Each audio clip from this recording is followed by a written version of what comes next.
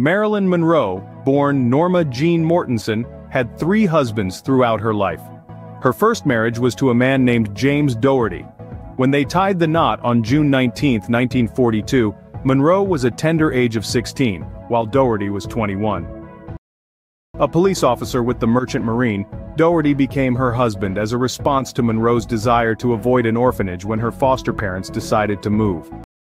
However, as Monroe's star began to rise, their marriage crumbled resulting in a divorce in 1946.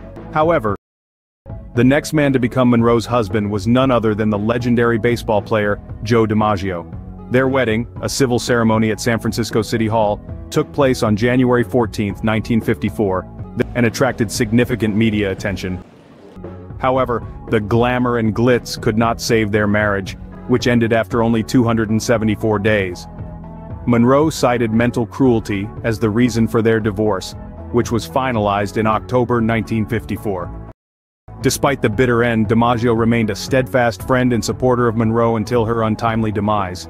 The final man to share a marital bond with Monroe was the renowned playwright, Arthur Miller.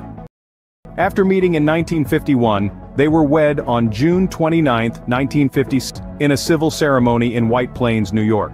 This union brought together Hollywood glamour and literary sophistication.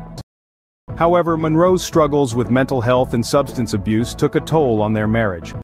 Their marital journey came to an end with a divorce on January 20, 1961. Even after their split, Miller continued to hold Monroe in high regard. The personal relationships of Marilyn Monroe were as complex as the woman herself, constantly under the media's microscope. Her marriages were a reflection of the challenges she faced while trying to balance her personal life with her burgeoning career and the pressures of fame.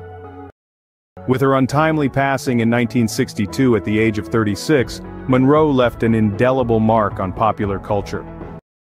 The stories of her marriages continue to captivate fans and historians, providing a glimpse into the personal life of this legendary figure.